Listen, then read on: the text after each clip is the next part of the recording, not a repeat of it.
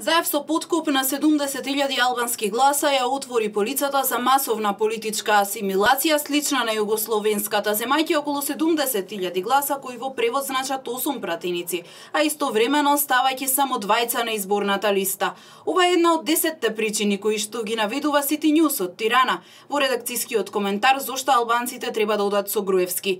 Имајќи во предвид дека војната помеѓу Трамп и Сорос е глобална и е слична на таа на Ердоган и Јулен, албанците моментално моментално не можат да излезат против американската администрација, затоа што републиканците ги контролираат сите механизми на државата, а Заев е јасно на страната на Сорос се посочува во коментарот на новинската агенција.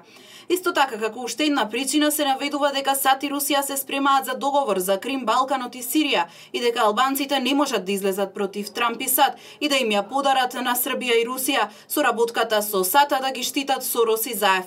Во делот текстот се пишува и за Србија, која според агенцијата има во план дестабилизација на Босна и Косово и дека за таа работа им треба нестабилна Македонија која е надвор од НАТО. Се посочува и дека Србија го напаѓа Груевски преку Дачич и го посакува Заев на власт, но се заклучува дека на албанците им треба стабилност која во моментов можат да ја донесат ДУИ и ВМРО да ДПМН. Се споменува и молкот на Заев за албанската платформа. Во однос на зачленувањето во НАТО, албанската агенција е уверена дека само ВМРО да ДПМН може да најде заеднички јазик со Грција со посредство на американската администрација на Трамп, со која Груевски е во добри односи односно со заменик председателот Майк Пенс. Балкан, Украина и Блискиот Исток се меѓу првите приоритети на новата американска администрација и би било погубно за албанците во првата година на новата администрација да се наредат на погрешна страна, стои во коментарот. Сите Ньюс подсетува дека Македонија за време на владењето на ВМРО ДПМН го признава Косово и ја подржува оваа држава во сите меѓународни иницијативи и смета дека би било неблагодарно да се изгуби регионален соработник. А какво е расположението дома? Излеговме на терен во општини кои имаат мешана етничка структура да го слушнеме ставоци на граѓаните. Повеќето од оние кои ги анкетиравме сметаат дека треба да се почитува мајскиот договор, односно принципот победник со победник.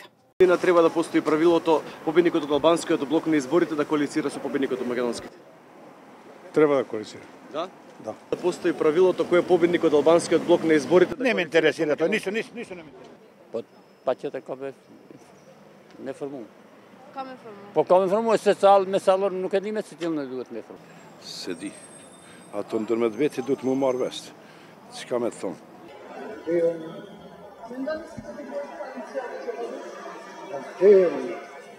И домано и соседите ја чекаат одлуката од Мала Речица. До недела е крајниот рок за формирање на нова влада.